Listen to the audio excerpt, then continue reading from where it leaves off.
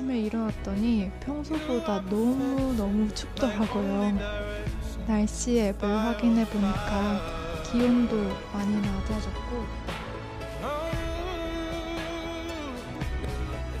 300분이 들어오셨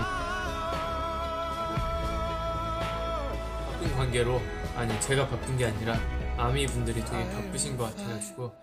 공영 행사 때문에 지금 일본에 와 있는데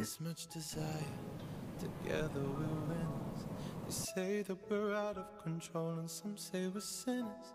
But don't let them ruin our beautiful rhythms.